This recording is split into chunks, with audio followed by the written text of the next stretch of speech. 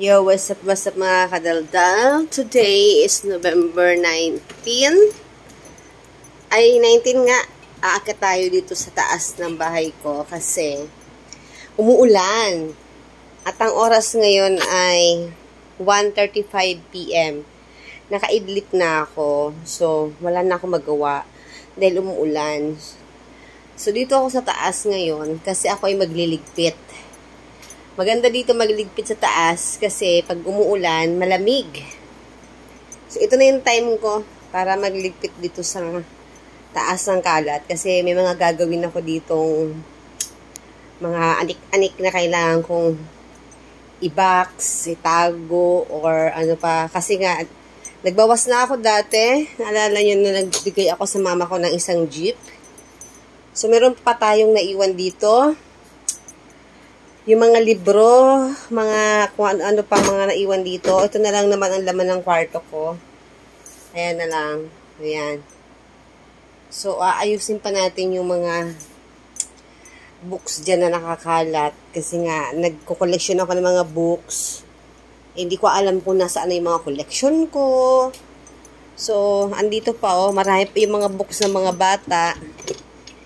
I-separate ko kasi nga, may nangihingi ng libro.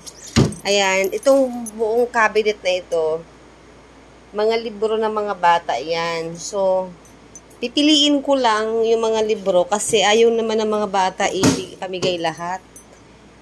Kasi nga, nahiya sila dahil may mga sagot-sagot na sila dyan. Kaya yung mga libro lang na ano, na walang sagot. Kasi mga libro nila di ba pag private, diyan na mismo sila sumasagot sa mga books. Eh, ayaw nila ipamigay kasi nga may mga answer sila. So, pipiliin ko lang yung mga itatabi ko. At marami daw silang notebook dito na mga hindi na ginagamit. So, magbibigay kasi ako dun sa isa kong kaibigan na mga notebook. Magdo-donate ako ng mga notebook. So, ang dami pa dyan mga notebook na kailangang ayusin ko. Isang cabinet ito, oh. Yan, puro books yan. Mga pinag-anuhan nila. Ito yung kakalkalin ko, meron pa dito. Unti-untiin natin kung hanggang saan aabot ang powers ko. So, ito pa, meron pa dito. Ay, nako, napagod na agad ako. Parang kayo ko nang gumawa. Ayan pa, oh. Ayan pa, oh. Mga libro ng mga bata. Ay, meron pala mga libro mga anak ko. Bibilisan ako ng ano, Iwong Adarna, Florante at Laura, Loli Mitanghere. Yan. Meron pala sila nito. Hindi ko pa nababasa yan. Basahin ko na nga yan.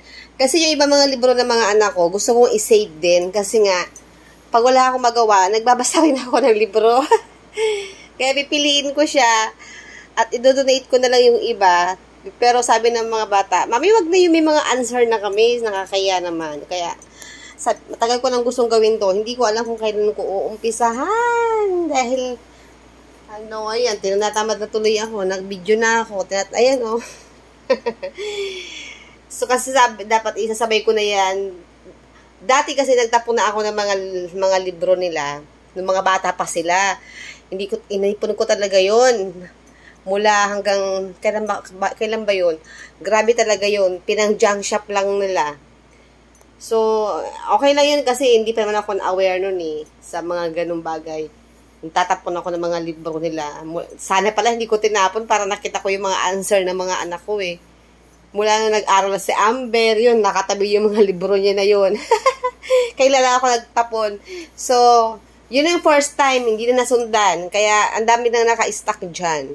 So, lahat, mula na nag-aral na sila, lahat private yung mga libro na yan. So, makikita natin kung ano yung pwede nating i-keep dyan. At kung ano yung pwede natin i-give away.